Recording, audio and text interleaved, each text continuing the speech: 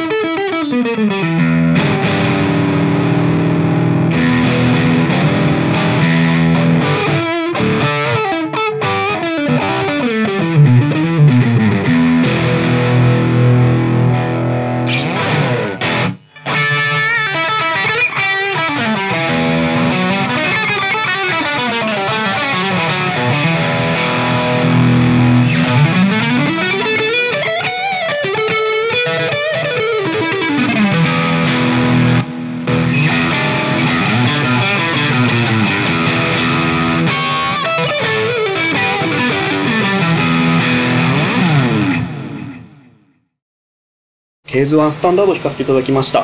いろんなサウンドバリエーションを出せるんですけれどもチェンバードボディホローボディになっておりましてすごいアコースティックな響きがするんですよね。その音が結構アンプの方にも影響しててパンチのある音で結構音楽的な響きのする音がしてすごい良かったと思います。でまたこの僕初めて弾いたんですけどこのアームですね Kahler のアーム。これすごい面白いですね。こちらもすごいポイントになってると思います。こちらはですね先ほどのギターとは別モデルになってましてピックアップがですね、えっと、ハムシングルハムになってます。でセレクターもすごいシンプルに見えるんですけれどもコイルタップと 5way スイッチで重ね音が出るようになっております。